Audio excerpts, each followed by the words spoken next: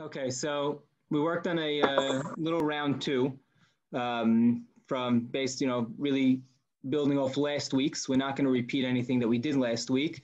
Uh, last last week the focus was mainly on. Hold on. Our James. Last week the focus last week the focus was mainly on preparation for Pesach. Uh, now we want to focus on Leil HaSeder. Um, really two aspects of Leil HaSeder. One is the some halachot surrounding Leil HaSeder, and then we want to go to understanding uh, some of the derashot and the Haggadah um, that Hazal presented in front of us, and really um, probably try to encapsulate uh, some type of something meaningful. Um, it could be for a lot of us the first time that we're going through uh, this Seder alone, and we want to know how to make this Seder the most meaningful experience, uh, you know, for us taking it alone the first time. So I want to open up with a couple of questions, Rabbi. Well, welcome back. Um, really opening up with a couple of things leading up to Pesach that maybe we didn't cover, uh, a couple of halachot, um, some of which we discussed, some also questions I got recently. Uh, if we could just discuss hametz for a second.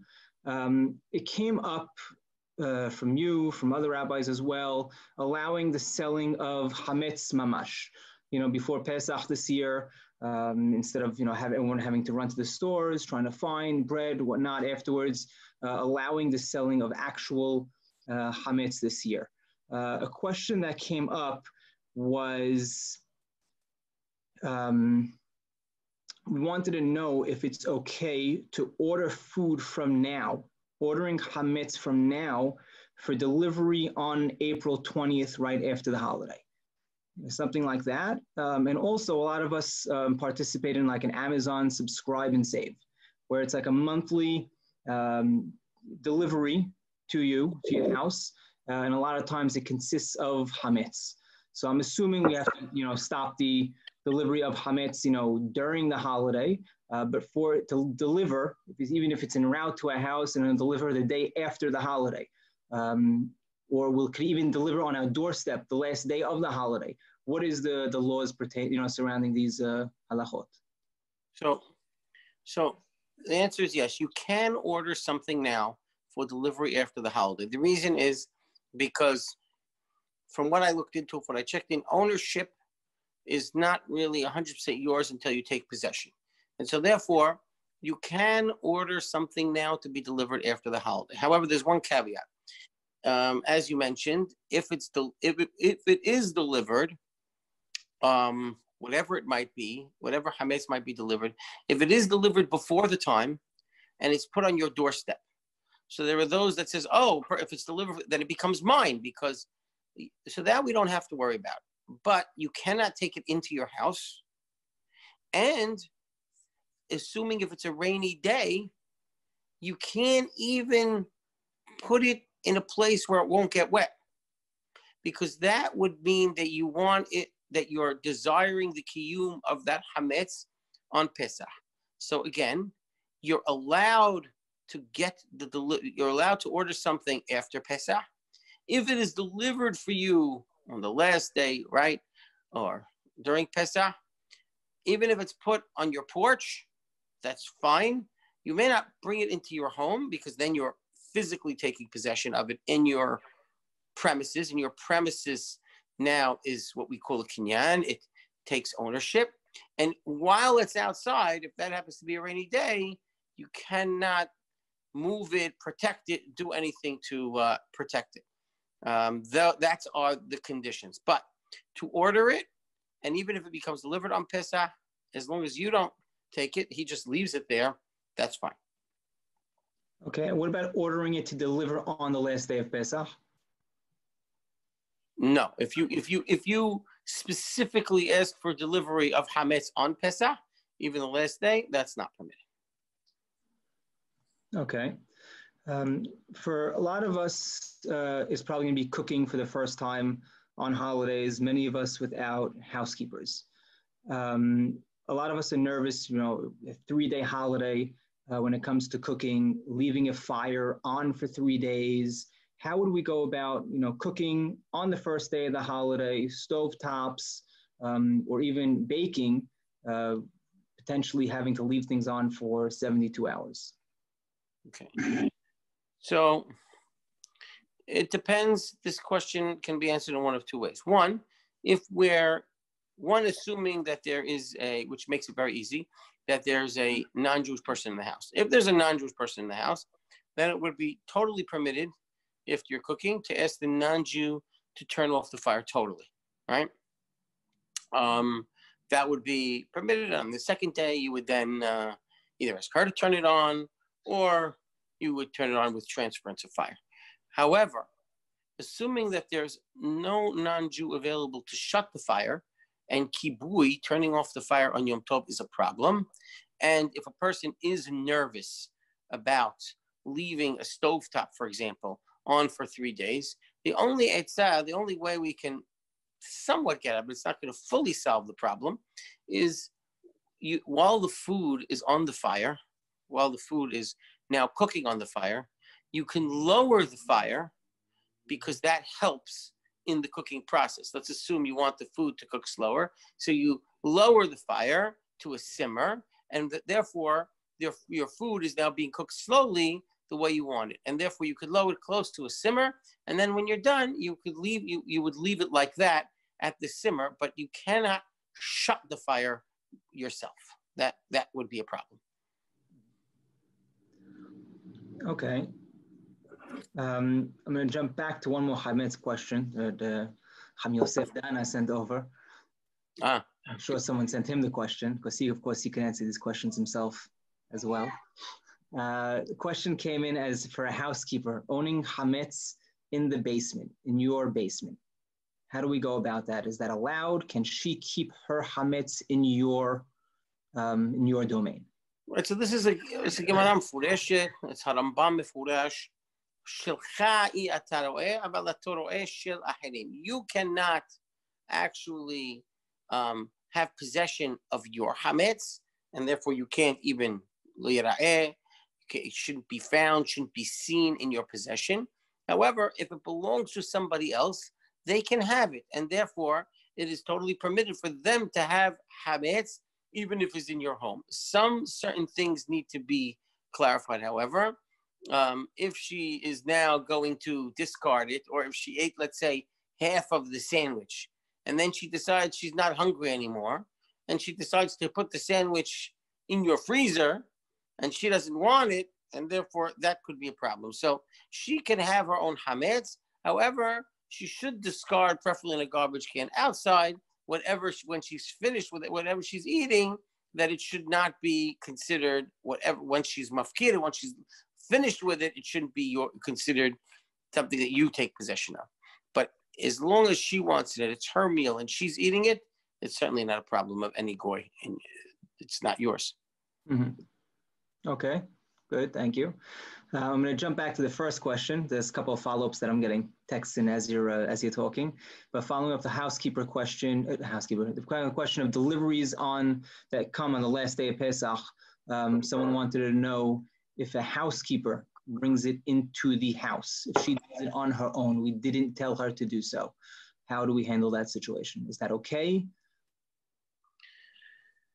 If the housekeeper takes possession of it on her own and it becomes and it's clear her her her indication is that she's taking her possession then it's permissible. If she's taking it you tell her it's yours and if she wants to take her own possession that's fine. If however she's simply just putting it in your house on your behalf and taking possession then it's then that could be a problem. Which is probably the case you'd have to instruct her to you'd have to instruct her how to do it right? In other words but again it's very important. If you didn't know about it let's say you didn't know about it and she accidentally brought it into your house right? Mm-hmm. that's not a problem right? She brought it in you didn't even know about it and you if she would have asked you would have told to leave it out and she went and brought it in you know without your knowledge then it's okay. I was assuming that you were trying to find a way to get it inside and you were going to tell her to do it and to her claim it on, on her behalf or your behalf. That's how I was answering the question. However, let's imagine this scenario. It was outside, it was raining, you left it in. She she brought it into the basement or she brought it in. We have a rule, and this is Hatzer Shaladam Kone. A person's premises are acquire something for him, but not against his will. It's not Baal Korho, it's not against his will. That's why your premises is even your patio, your porch is no different than your house. Why didn't that not acquire? Because your your premises won't acquire the item against your will. And so therefore, if they deliver it, no, if the housekeeper then sees it, oh, it's getting in, and she puts it in the house. And you you have you went to, you were in the back, you didn't even know, and all of a sudden it's in your house. As long as you don't touch it or you don't move it or you don't like show any level of ownership, again, it's like it was in your in your uh, outside porch. However, to tell her to bring it in, that would be forbidden. Mm-hmm. Okay, that clarified. Thank you. Uh, now moving on to Leil HaSeder itself. Um, so I guess a couple of halachot surrounding Leil HaSeder. Uh, firstly, what is the earliest time we can begin? I mean, we're all at home, at home this year. We're not coming home from the Bet Knesset. So what is the time we should be, you know, praying and starting Leil HaSeder and any, you know, times that we need to take, to take into consideration as we go through? So um, as far as I understand, sunset, we're operating on sunset. So sunset, I think, is about 7.31 on Wednesday nights. Yeah, I think that's the time for sunset. Preferably, ideally, one begins Leila Seder because we're dealing with mitzvot, mitzvot deoraita of eating the matzah, the magid, the haggadah, and also mitzvot rabbanan of having the four cups. So ideally, one should start the Leila Seder after Ben Mashot when it's Vaday Laila. So one should, that would mean that one should begin at approximately uh, where we usually do 40 minutes after sunset, like about 8 11. Um, that's difficult. And there are young, young, um, I'm told, oh, what? I made a mistake on sunset? Okay. My, if, I'll just, if sunset is two or three minutes earlier, then please adjust. Um, if it becomes difficult to begin um, the Leila Seder that late, one has, I would say, about a 12 minute, you could do it earlier than that, and you could begin your Leila Seder about 8 o'clock. Okay. Um, are there any halachot that we should be aware of during, you know, throughout Leila Seder? When I dress, I mean, you went through most of the shiurim already. Is there anything that comes to mind, other halachot regarding Leil HaSeder? So, uh, one halacha, which is interesting, which I'll mention, which it's mostly Perush Haggadah and halacha together. I was once asked, I said, Rabbi, they said, Rabbi, can we say this year the halach ma'anya? Because we're not inviting anybody in, and I guess what if anyone knocked on our door, appropriately so, we would say, please, you cannot come into my house for the seder. So what is it? Anyone who's hungry, come and eat. Is that permitted? So my answer was yes. He says, why? Because in reality, I just, and this will give me an opportunity to explain a little bit about the halahmanya. In reality, the halahmanya is really not inv- not about an invitation to a guest, because again, who invites somebody once you're done with kiddush? That's when I decide I'm going to invite a person to the house. Rather, and I'm going to here quote an interesting perush of Perush Haggadah Vayiskor Yosef Rabbi Yosef Mesas, who um, wrote a very interesting perush on that. And he commented. He says this. He, he says, if you look at the halachma anya, halachma anya which is again in Aramaic, everyone understands it, the language that was spoken, is a later addition to the Lela Seder. It's not mentioned in the Mishnah. And what is it about? The Halahma Anya is actually the Lela Seder in Galut. We say Halahma Anya What is it? They ate they ate matzah in Mitzrayim. This is the bread of affliction that we ate in Egypt. The first question is, did they eat bread of affliction in Egypt? Right? So the, the, the answer is, according to many commentators, yes, they did. Matzah, in addition to being the bread of, of the uh, redemption that they ate because they left so quickly, it was also bread of affliction, and that's why we call it lechem oni, that they ate in Egypt because they didn't have they didn't have the time for their bread to rise because of hunger. So, by the way, this makes the message of delivery so much more potent because the very badge, the very proud symbol of poverty, which was the matzah, Hakadosh Baruch Hu turned it into the symbol of deliverance. And so we say, this is the bread of affliction in Egypt. Kol dikfin yitiv yechud. And we say the reason why we have guests now is because the only reason why a person would come and eat, um, be part of the guests in this Lela Seder, is because they're still they're hungry. But in the time of the Bet Hamikdash, why would somebody come to my house for Lel Seder? Not because he's hungry, because he needs to partake of Korban Pesach. And he had, and they used to get together in groups because the Korban Pesach was was a um, was eaten in large groups, and so therefore people used to get together. So we say Kol Dechvin. This year, we invite people because they're hungry. Kol Ditzrich, but we, we think about a future time where we invite people because of why? Because they need to partake in a better time, a better generation. And so that's why we end Eh, this year we're, we're, still enslaved. We're still in Galut. But we think of a better time. The Shana Baba, the, the, the, the Israel. Next, next year will be in Eretz Israel in Yerushalayim.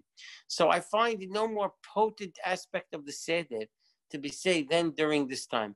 This year, we're in difficult times. We can't even invite guests for any reason but we think about next year and next to Seder, where we'll be inviting for the ultimate redemption. So I think it's a very appropriate um, uh, prayer for the Seder. So um, yes, we should say it, and I think even with extra kavanah this year. Okay. Um, now moving on to Leil Seder, as as we go through, and you opened up with Halach Ma'anya. Um, what about ask, I guess, maybe a little more reasoning with some of the things that we do. So something is like yahatz. Um, we're breaking the matzah just to eat it later. Um, what's the what is the significance of that? So again, many people think we just break the yahatz so we can at that point hide the afikoman. Um, although that is part of what we do, we break the yahatz um, because we have to make hamotzi and alachilat matzah. And so anytime on any holiday, on any Shabbat, we have to have lechem mishneh, two breads. So we have to have two matzot. But we have a third matzah, which is lechem oni, a broken matzah. Now, we want to have two full ones. That's why we need three.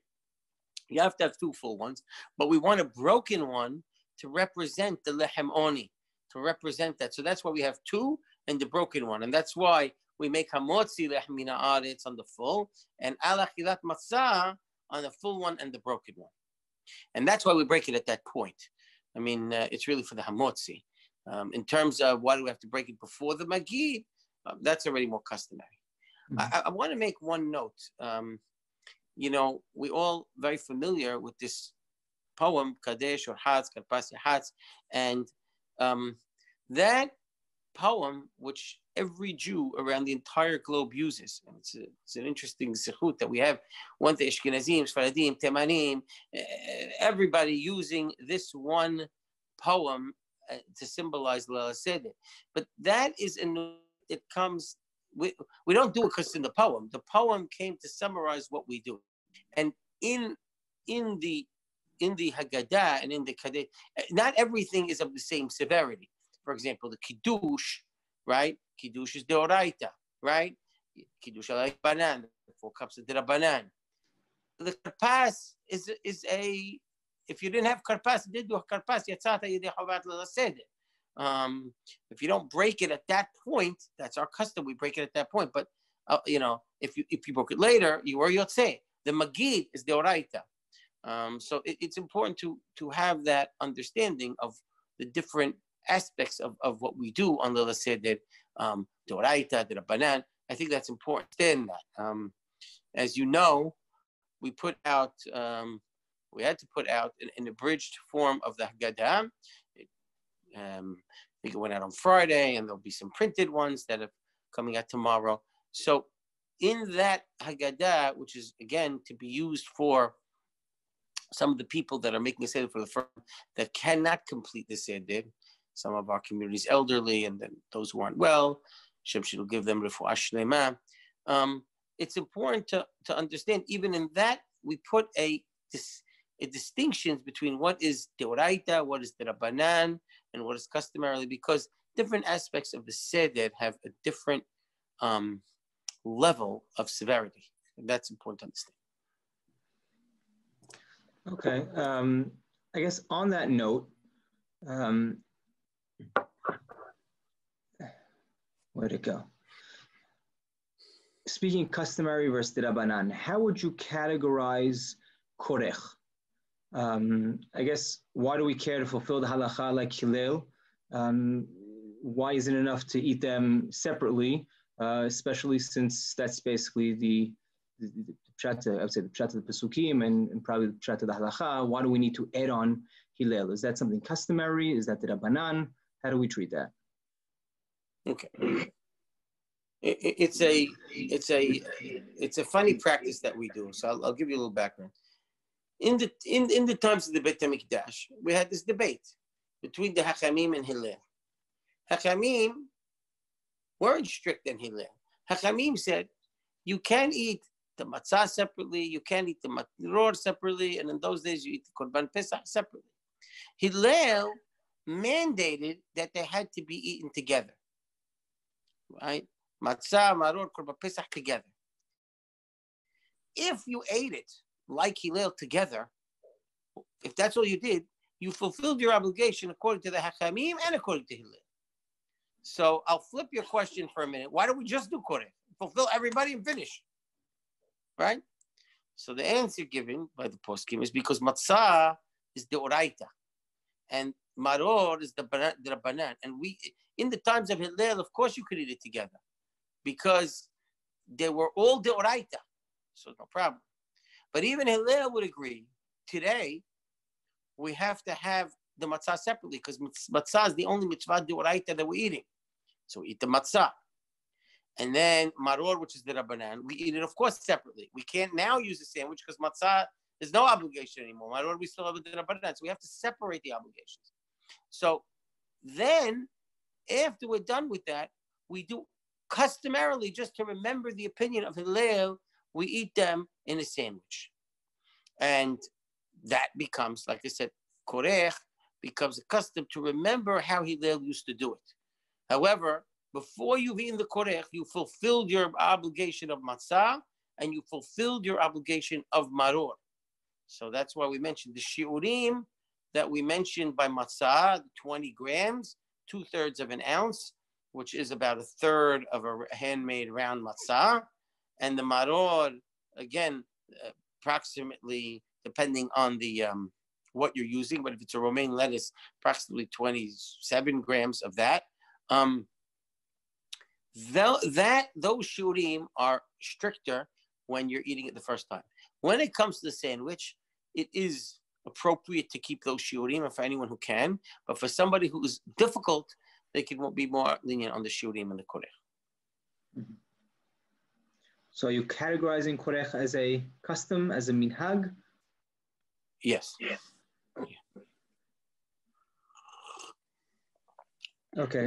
We spent a lot of time on Magid, really discussing a big portion of, you know, you know, Yitziat Mitzrayim and, and all the, you know, stories surrounding Leil HaSeder. Um, wouldn't it be I mean, easier, better? How much of it can we do over a meal? Um, and, and maybe shorten that part and speak more during the meal? Why do we have to spend so much time before we get to the meal um, speaking about Yetziat Mitzrayim? Okay, so first of all, let, let me uh, let me clarify. The mitzvah applies all night of even during the meal of Sipur Yetziat Mitzrayim. Remember, there are two unique mitzvot deoraita the night. Almost everything that we do that night, added by Pesach, is a mitzvah de Rabbanan. Arba kosot, maror, those are mitzvot de Rabbanan. But there are two unique mitzvot that apply even in Galut to the Pesach, which is eating the matzah, which we discussed, and Sipur Yetziat Mitzrayim, the Magid, to discuss Vigadta the Bincha. That's a mitzvah deoraita. So um, it's important that we fulfill the obligation um, this year, as in every year, by motivating our children, a father speaking to his children. This will be a unique experience because, on the one hand, it is a time where we're going to have small study. And the grandfather of the house, the one who usually for many, many years has led the large study, that person may be eating the seder by himself.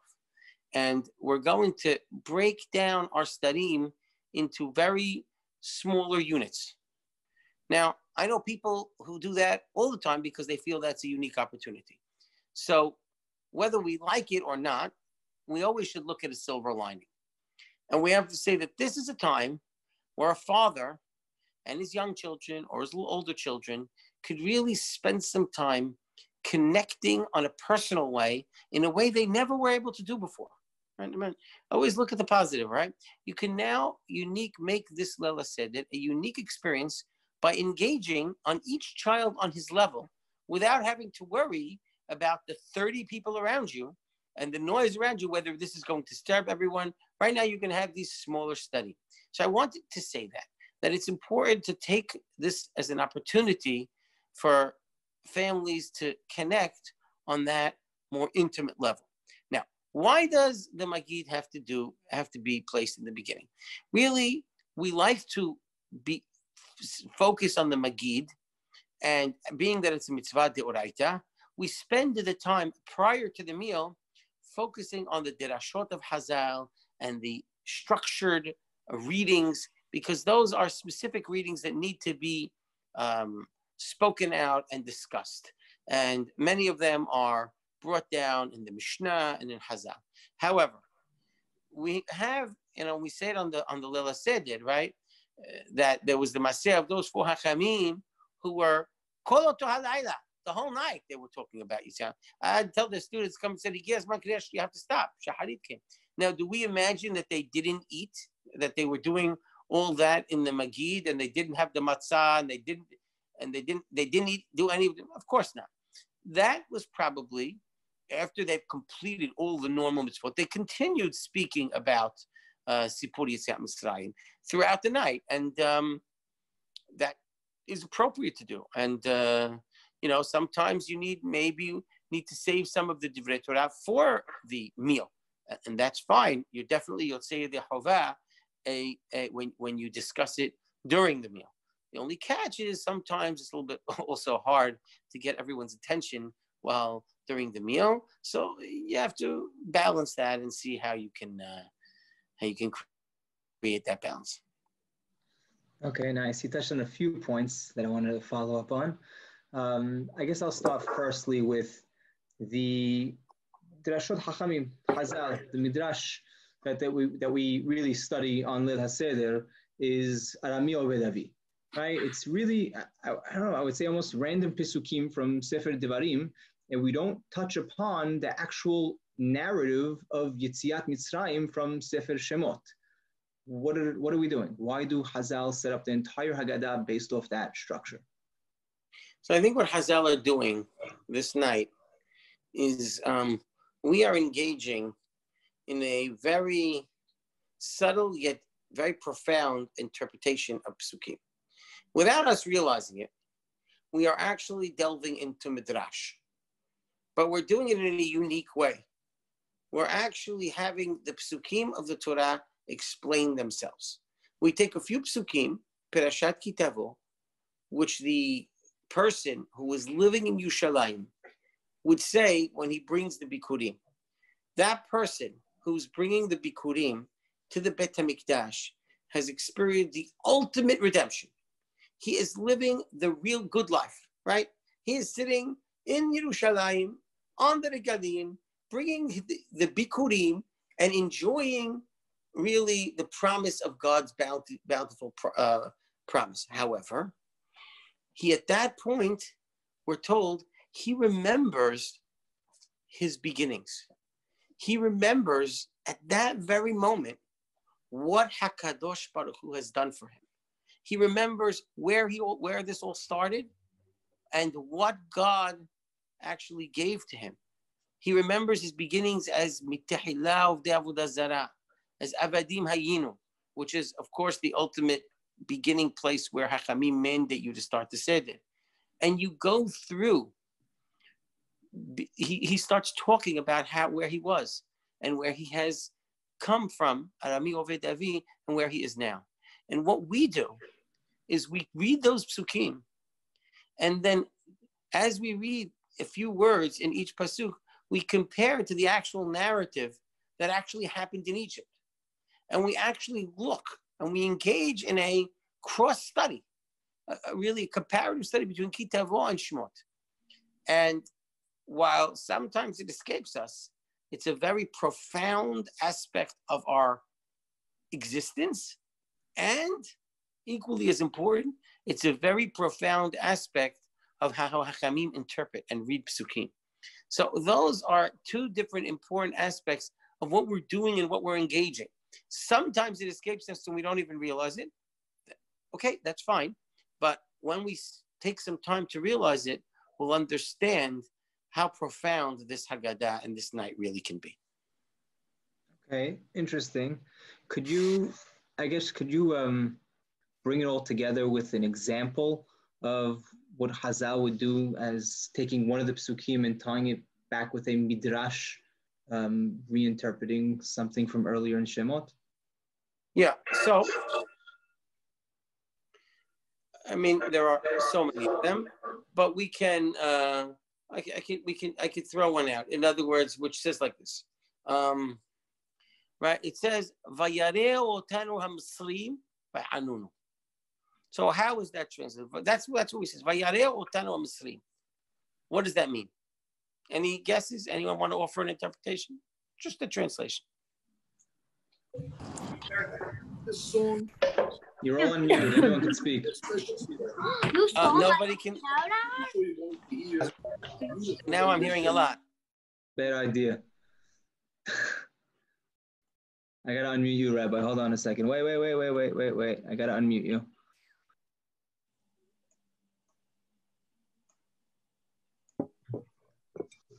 All right, that was a bad idea.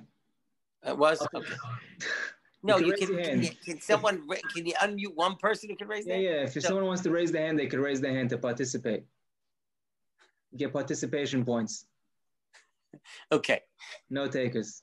Vayareu sometimes is translated as they have done evil to us. Vayareu otanu Vayanunu. However, what do Hazal do? Hazal tell us in the Haggadah they give us an interpretation of what Vayareu Otanu Mitzrim means. And it doesn't mean they've done evil to us because what is the pasuk that the Baal Haggadah chooses as an example of Vayareu Otanu Mitzrim? Vayareu Otanu Mitzrim kimo shene'emar. And what's that pasuk? Hava nithakema lo penyirbe. How is that a pasuk of how they did betas? That's they were planning to do betas. So rather, if you focus on what Hazal are telling you, they're not telling you that that pasuk means they did evil to us. They're telling us that Paro did something, and it's a very profound insight. What did Paro do? Otanu, he made us look evil. They made us look evil in the eyes of the Egyptians. And therefore, and then and then they, they cause this affliction. The Baal Haggadah is telling you that the first stage of Paro's affliction was a propaganda effort. The Baal Haggadah is telling us a profound insight on how our enemies operate. by the way, throughout history, step one is always the propaganda. And therefore, that's really what they're telling. That's what Hachamim are telling us. And by creating this comparative analysis of psukim, we have this very profound influence. Again, it may escape us sometimes, but if we think about it, if we take back, it's an extremely interesting, engaging event, taking one pasuk and comparing to another pasuk and cross-interpreting. Very nice. Very nice. Um, you also touched on the aspect of engaging kids.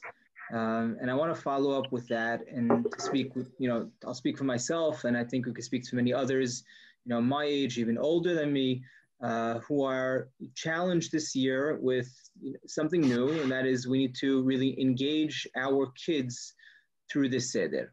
Um, either kids or sometimes possibly even, you know, keeping the teens involved.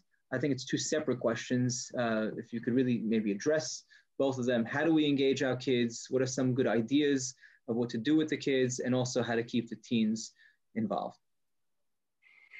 So, I'll answer with really um, what the Lila said this about. I remember Acham Yosef Shalom. Um, before Pesach, he would always caution the parents that to remember that this Lila said that is not about them, right? Hacham Obadiah, and you can imagine who more than Hacham Obadiah would want to spend this Lila Seder in deep uh, and uh, analysis of Torah, right? Hacham Obadiah's level of learning unmatched. That's what, and yet he would say very often that he would spend the Seder, Lila Seder night engaging the most youngest children in stories. First step we need to know is that Lil said is not about us, right? It's not us being challenged on our level. It's about engaging the next generation, right? The, and through that, the Haggadah tells us that we have four children and that we engage each of those four children on a level for each one of them, right? You don't answer that, you don't engage the Hakam like you engage the tam. And you don't engage them like you engage the Rashal Shah. Each child needs to be engaged on his level. That's why I said maybe in a small that it could be a unique opportunity for us to actually begin engaging people and especially engaging our children each on that child's level. Now, sometimes you'll have, you know, uh, young parents who have extremely young children who the old fooled with only elementary school age and maybe the oldest child could be 10, not even bar mitzvah. In that situation obviously you need to be creative. You need to remember now it's not the time this said there's certainly not a time to talk about profound hidushim right? But rather there can be unique creative ways games costumes although you can't buy costumes here but creative ideas fun approaches to actually turn the seder into an engaging activity for the youngest child. If, however, you're dealing with teens around your seder, so it might be a time to actually engage in challenging intellectual discussions. If it's a less motivated group, then it might be to engage in a um, the messages of Yetziat Mitzrayim and how they'll apply to today. And I think, by the way, in today's situation, there's unique opportunities of what we're all going through today to see seeing God's hand as it was in Mitzrayim and trying to understand the message of God's hand in today's situation and what HaKadosh Baruch Hu is trying to tell us today in, in, in, in our unique potential deliverance today. So I think there are different unique ways and different challenging ways that we can engage the members of our sedarim, depending really on who they are and and what their and um, and also what their interests are. So you, you really need to know your audience. Mm-hmm. Okay, um, I guess also on on on the Haggadah piece, Um, there are a few things that come up as maybe odd, a little weird. Um, I'll start with the poem of Dayenu. Um, everyone speaks about it. What's what's the shot of really what's going on over here of how you're able to say Dayenu at you know such you know every step of the way, or is it just supposed to be looked at as maybe one whole poem and don't look into it too much? Right. So if you look at Dayenu, if you look at the Dayenu, the Dayenu is has in itself some of it perplexes us because, right?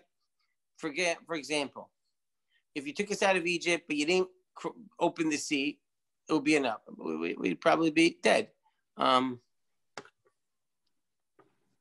sorry, um, we'd probably be dead if you um, if you split the sea but didn't drown the Egyptians. Well, what would be the point, right? You split the sea, they go. There's no point. So we're confused. So there's an there's in many different interpretations, but I think the most unique one is that it it God showing His hand, His miraculous hand of deliverance in different ways. In other words, every one of those things were miracles that God could have accomplished without performing the miracle. We were in the desert. Did we actually need man? We really could have engaged local countries and local populations. We didn't have to survive on divine food. Um, it is possible that the Egyptians would have seen the sea split and turned back. Did they have to go in and be drowned? There are many, many different aspects that our Mefarshim say could have been handled without the miraculous. But our existence in Mitzrayim, what we say, Dayenu, is one miracle after the other. And that becomes a unique experience, right? That there are points that we could have been saved without the miracle, but he did it. And he did it to show his love. He did it to show how much he cares of us and how dear we are to him, and how therefore we would hope to um, to eventually uh, show that dedication and devotion to Hakadosh Baruch. Okay, nice. I spoke about this once before. I heard you speak about um, this. This really the episode with the uh, the five Hachamim, Rabbi Eliezer, Rabbi Yehoshua, Rabbi Elazar ben Azariah, Rabbi Tarfon, Rabbi Akiva, that they were sitting in Bnei Brak and on discussing uh, Leil HaSeder. Uh, but interestingly enough, um, I'd say the, the main rabbi, the chief rabbi of the time, Rabban Gamliel, is, is missing from that whole uh, episode. You know, what what exactly is going on? What are they discussing? You know, a lot of a lot of people also speak about what are they discussing. Traditional commentators, modern modern commentators, what exactly are discussing the whole night until uh, you know Kriyat Shema of the morning? So um, uh, Rabbi Sacks has an interesting uh, uh, point on that by his Haggadah. It's very lengthy. It's about six or seven pages. Obviously, I'm not going to go through that at that point. But I'll just mention one thing. You know, if you look at the names of the Hachamim, Rabbi Elazar ben Azariah, Rabbi Akiva, Rabbi Yehoshua, Rabbi Tarfon. If you take out Rabbi Tarfon, who's clearly the elder, you will find that these are the three Hachamim that in their each in their own way oppose the Rabban Gamliel. And many say that this this is the time of the where Rabbi Elazar ben Azariah replaced the Rabban Gamliel. We do have an, a, a similar episode in, in the Tosefta, not mentioned in the Haggadah, where we have a Maaseh where Rabban Gamliel was making his Seder. And it's unique what they were discussing. Rabban Gamliel's Seder was talking about the laws of Pesach. It is this Seder with, with in Bnei Brak, which is the house of Rabbi Akiva, so he seems to have been the host, and Rabbi Elazar ben Azariah, who is the probably could be the Nasi at that point. You have Rabbi Yehoshua, who is the greatest sage of his of his time, right? And Rabbi Tarfon, certainly by far the elder statesman. And they're all making this seder probably in the house of Rabbi Akiva. And we know that they had disagree- they had a specific disagreement about what at what point the deliverance happened. Was it until Hatzot? Was it until the morning? And one can imagine, and, and, and the Gemara says that they're all on different sides of this point of, of the coin, right? And uh, two verses two actually. And one can imagine if their seder was engaged in a halachic dispute at that point, it probably wouldn't have been resolved, and maybe that isn't what was the seder should be about. Rather, their seder involved an avoidance of those halachic disputes and actually a discussion of the about the great miracles, a more agadah version of the seder, and it's almost a mute point because they go all night until that argument becomes uh, not relevant. And so that's how Rabbi Sacks looks at the uh, at the Lila Seder. Mm-hmm. Okay, we'll open up the you know the floor to questions if anyone wants to. so before you do that, I want to address one or two halachot, okay. um, especially one or two that I was asked last time regarding. I was asked regarding Sfirat Omer. So first, I want to say I was asked this question multiple amount of times, and I want to say any there have been many planned simahot. Some have gone, you know, weddings, for example. Some have happened, right? Because, but with a very small, maybe 10, 12 people. And some weddings did not happen. And the question is, can the weddings, once hopefully we get out of this and we're able and we're allowed to have more festive occasions with larger groups, and if that time if we get out of this and it's during Sfirat HaOmer, can we make weddings on the Omer? So I think if we look at the halacha, I think it's clear. Not having weddings on the Omer is a minhag. We do not like pushing off weddings. And so therefore, anyone whose wedding did not happen at its time and needs to be pushed off may make that wedding at any point during Sfirat HaOmer. Ideally, Rosh Chodesh or whatever it is, but it doesn't have to be that way, and he may make the wedding on Sfirat HaOmer. I remember we asked the question, I pushed it off. In terms of, of haircuts and shaving, shaving in reality, there's whatever your custom in shaving is every year, you, you keep it this year because there's no difference because you could shave like you could shave any year. But regarding haircuts, um, there, anyone who could not get the haircut um, throughout this time can't see a barber and hopefully during the Omer will things will open up. He may get a uh, a haircut um, on the Sfirat Omer. I would even say on Moed, but very frankly, um, somehow I'm not that optimistic that barbers would be will be will be at the point where barbers will be open next week on Hal Moed. So, um, but certainly during Sfirat Omer, um, that that that those customs of the Sfirat Omer in this year will certainly be pushed aside. That's uh, one. Can I follow up what you mentioned uh, with the um, the weddings? So you're allowing weddings on Sefirat Omer, on the, on the Omer, for something that was pushed off. Would you allow it during the three weeks at the opening of the summer as well? Would you categorize it the same? But you meaning if it goes all the way to the three weeks? Yeah. In other words, I, I see what you're saying. You're saying assuming the more pessimistic version of this. That this actually, I'm trying to be optimistic. More realistic version. We're going to be out of here in a couple of weeks, but you're assuming this goes on until the until the three weeks. I would yes. I would probably say we should reserve the nine days, not, but during the three weeks, we definitely would. Um, we yeah, if we go and that many weddings are pushed off, we could definitely allow weddings uh, on the three weeks. Um, right. We should probably the, show, the, the, the, nine days, which is really take out Rosh Chodesh and Shabbat itself, becomes one week. That time we'd probably refrain. Um, I, maybe not, but I'm pretty sure we. And but the, but the three weeks we allow.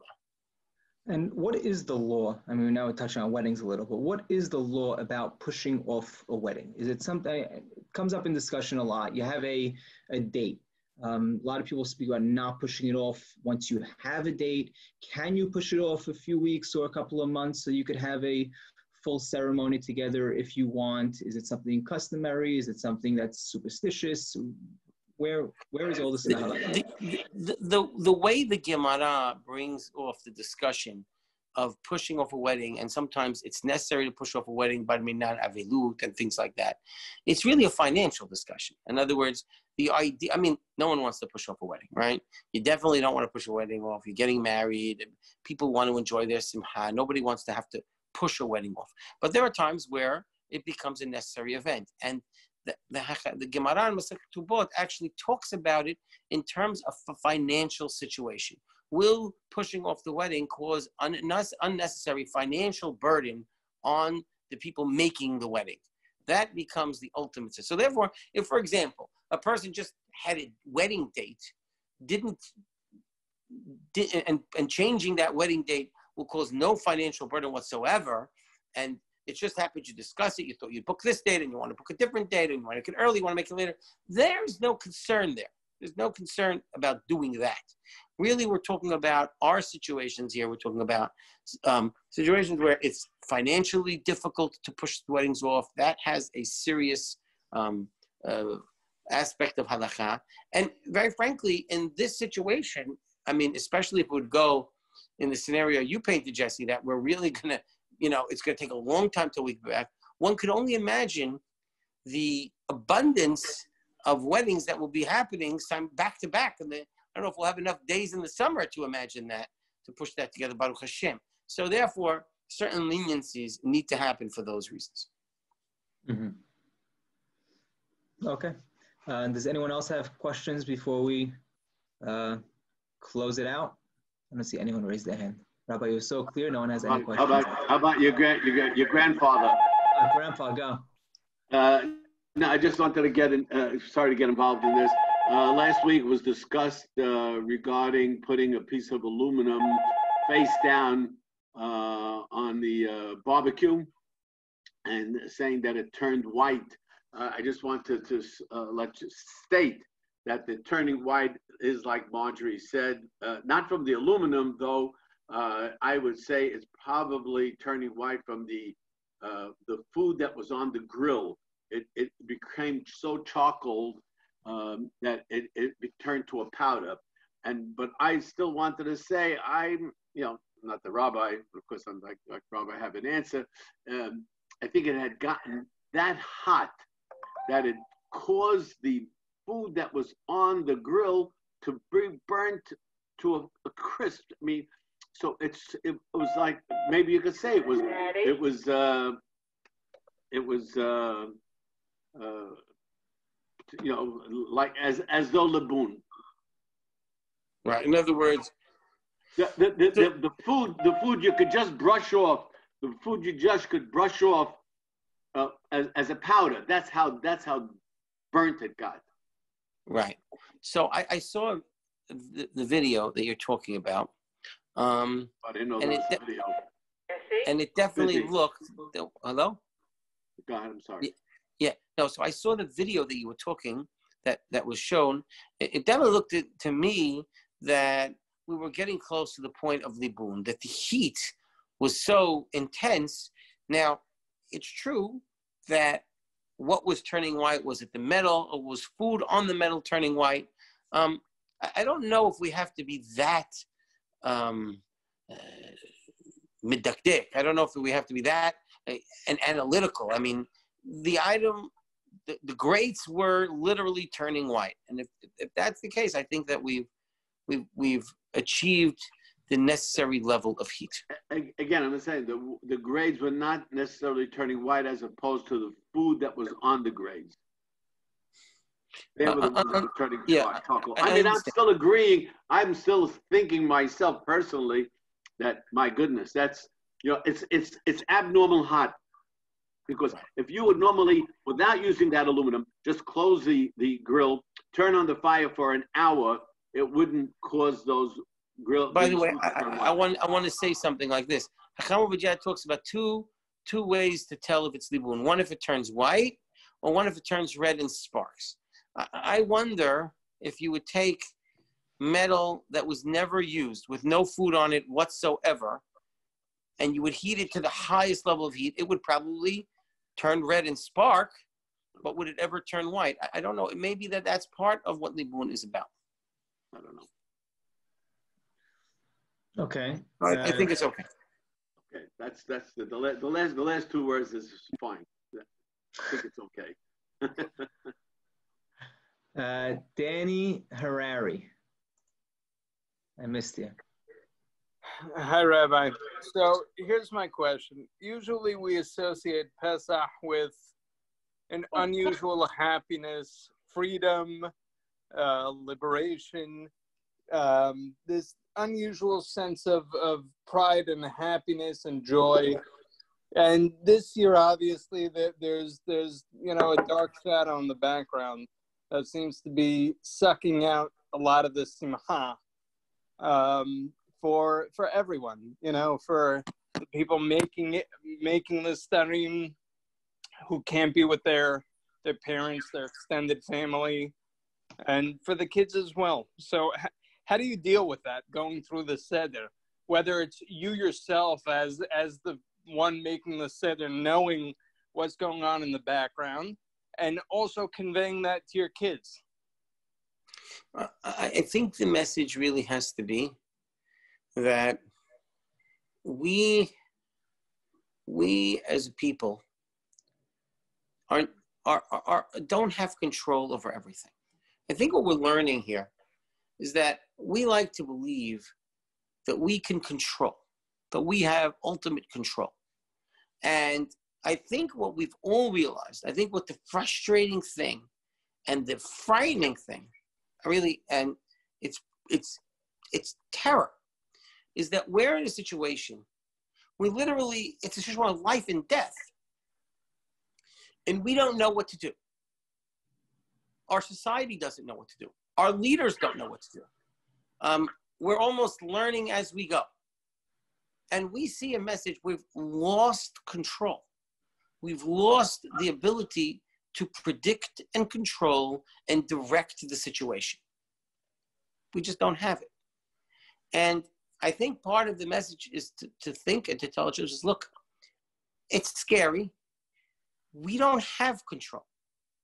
But that's part of who we are. And that's part of what Yetziat Mitzrayim was about, right? Hashem lachem. We're not in control. We have to realize that. That HaKadosh Baruch Hu in our history has given us different scenarios to deal with. And we are not in control. There's an interesting Ramban that I'm fond, fond that the life in Israel is uniquely special because it's all based on rainwater. But what does that teach us? That we drink when it rains because we're out of control. It is God who controls the scenario. But what can we do? What can we do is respond in kind. So if God in his infinite wisdom has decided that this is a Pesach that we're not all going to be together, so we make the best and we celebrate the Seder as we can. And we look at it and we take it into a positive and we connect to the situation that HaKadosh Baruch Hu has put us in and we perform the mitzvot in the way that situation that Hashem put us in demands. And so we're going to have small study this year. Okay. We're going to look at, at that and see how that challenge, we're going to make it into something positive.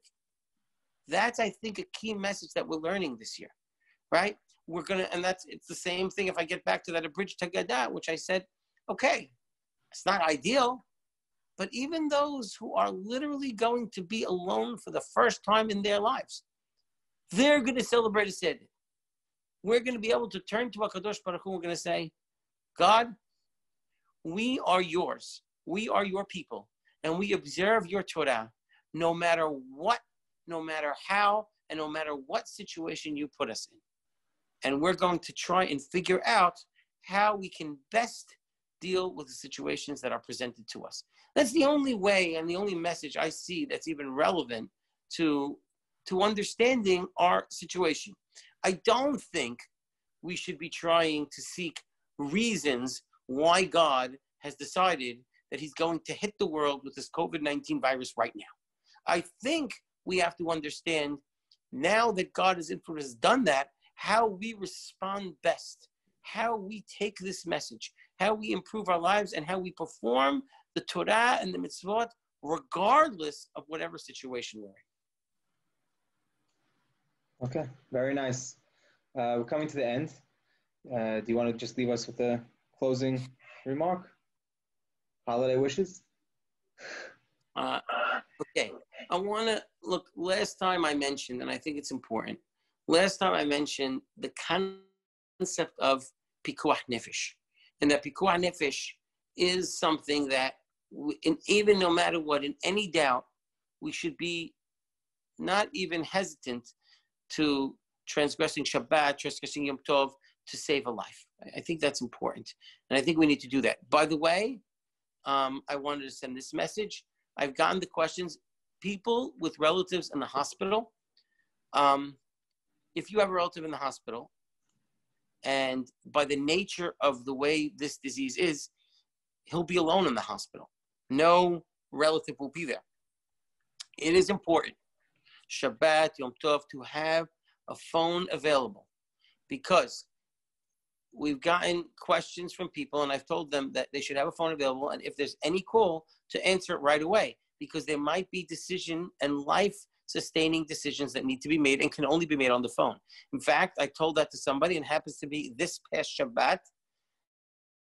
I told them to do that. They did that, and there was a life sustaining decision that needed to be made right away of a procedure that couldn't wait.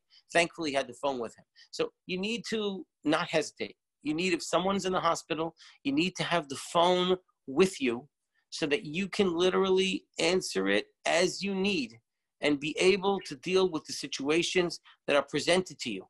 Um, uh, uh, and I, I, think it's very important.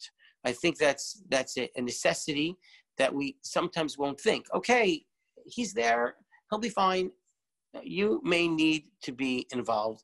Please stay close to your phones and don't hesitate to answer the phones if there are if if if the doctors or the hospital calls. It's, it, it sounds like a obvious point, but it is. Similarly, um, uh, we also need to understand that there are old people, elder people of our community that are alone. They may become depressed. Um, we need to understand that that depression, right, literally also potentially can have um, can have serious consequences. So um, in a situation where there is an elder member of the community or of your families that are is alone, and for some reason you get a phone call from that person. First of all, God forbid they could be getting sick, and second, we don't know their situation. For sure, in that situation, it's not a clear. If there's a non-Jew that needs to answer the phone, that's fine. If not, one should be cautious and careful. And if you need to answer the phone, you, you, you would answer the phone. So um, those situations present to us subtle situations, but we have to be very careful when it comes to that. Uh, we shouldn't take anything for granted this year. And pikuach nefesh has different ways to manifest it. And we should be, we, we should realize that pikuach nefesh is pushing off all of these concerns. So please, um, I want to make that point. Uh, you know, I know I'm make belaboring it maybe a little, but I'm doing that because it's really important. Um, we're, we're, we're living in unprecedented times. We're living in times where I've never dreamed of the type of questions I'd be getting. Um, and I really want to make, I want to accentuate the point that there is nothing, nothing that comes to, uh, beyond pikuach nefesh. Um, I also want to make mention, if God forbid someone has someone in the hospital, over three days, over three days, the way I understand it, with the glut in the hospital, if nobody calls a physician or somebody to check on that patient for three days, you do run the risk of that person being neglected. And the correct care can make all the difference. So, if it's not necessary based on your relationship with your uh, the primary physician that's in charge, that's fine. Certainly, if you have a goy that can make some that can make a phone call and that even you can request the doctor to just get updates. Um, but again everyone knows their specific situation of their specific family member that might be in the hospital. But uh, these are things interacting with the physicians over a three day holiday is not going to be a maybe. It's going to be a fact. And you need to understand that and you need to not shy away from that point Rabbi, how would you handle? Sorry, I'm interrupting. How would you handle if the answering the phone on Shabbat and your caller ID says spam? Uh, so that's a very good question. Honestly, sometimes spam happens when if you have somebody in the hospital and you don't know who it is, right? And there's a question that it could be the hospital, and for some reason your phone called it spam, answer the phone. If you have a non-Jew that can answer the phone, great. If you don't, just answer the phone. Agreed. Okay. Just uh, any other questions? About Biur Chametz. What? Biur Chametz. What's the exact uh, process this year? Well, there- There's, Okay, there's a so question because they're saying that because the, uh, the public workers are focused on other things, that we should be more careful with how we do Biur Chametz. Yeah. So Exactly. let's say what not to do first. I don't want everyone going out in front of their house and making private bonfires and burning your hametz. Well, first of all, altogether, um, creating potentially hazards where we really don't need them. So, um, ideally, you should be saving much less hametz. I mean, those 10 pieces, if they can be crumbs or something, that would be ideal. And then the simplest way would be then to take that hametz in a bag, go into your house, and just flush it down the toilet. You have accomplished biur hametz. It's zorek layam. If, however, um, there's a little bit more than can that could do. If you have a barbecue that you're not koshering, right? So um, you just burn it on the barbecue. That's okay. Um, make a little in your backyard. You could burn it quickly if there's not much. If, however, that's not an option, I already mentioned um, putting in the garbage can. I understand that they're going to come pick it up on Tuesday. They're supposed to come before this man of the Isur, so that could be an option. In case they don't, in case they come late, what you could do is, what I would recommend is if there's more hametz than that, that you can flush down the toilet, it can't be flushed down the toilet. And like I said, I'm not advocating break, making these big bonfires. What you could do is put the hametz in the garbage can, but before you put it in the garbage can, take a Clorox bleach, which probably we all have plenty right now, or uh, kerosene or anything like that, and pour it with the hametz to invalidate it from ra'ui la'achilat kelev. Leave it in the garbage can, and then even if they pick it up after, it's not a problem because it's mivo'ad, because it's not ra'ui la'achilat kelev, and that's fine. Those are the ways that I would recommend biur hametz.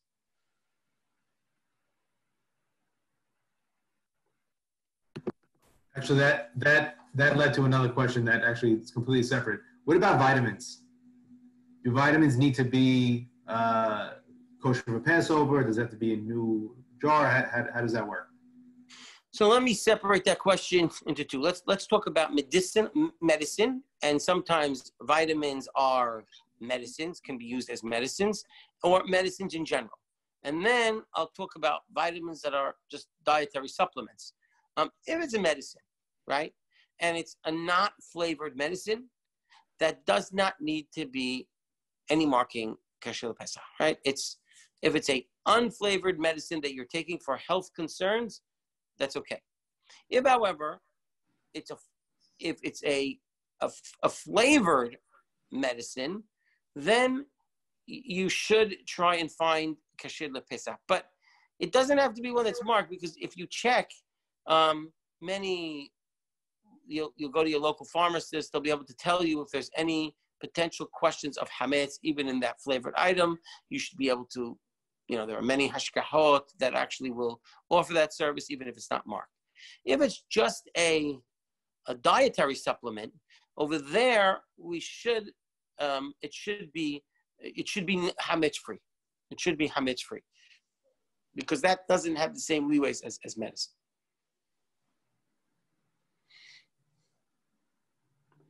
Okay. Anyone else? One, one quick point just about uh, Rabbi, The garbage. medicine is flavored? Rabbi, the medicine itself is flavored. If the medicine is for a kid, flavored, flavor. then it should not have hametz. Okay. If it's flavored, it should not have. just one point about the garbage cans. If you're absolving yourself from all chametz, isn't it irrelevant if the garbage truck comes before or after? In reality, you're right.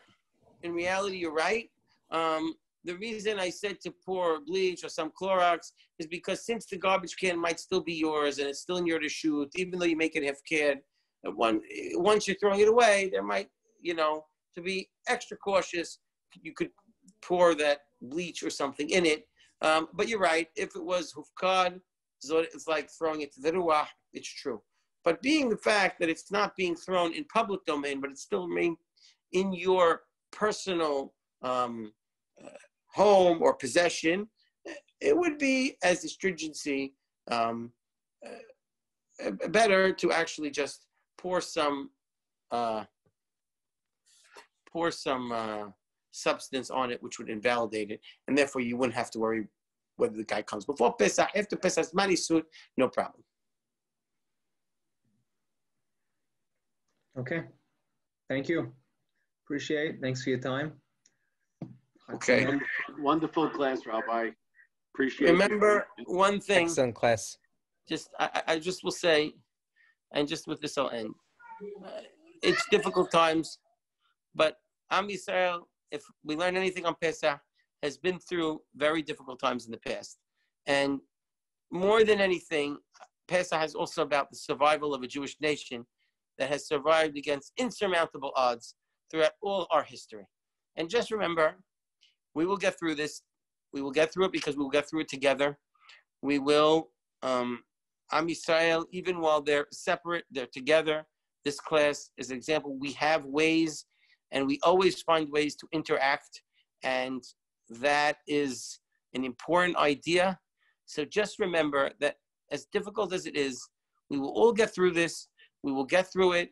We will be Baruch Hashem in a festive again, and it's important to keep that positive hope alive amongst all of us because it's just another challenge. We haven't come short of challenges over our history. It's just another one. We will get through this and we will become better, stronger, Bezat.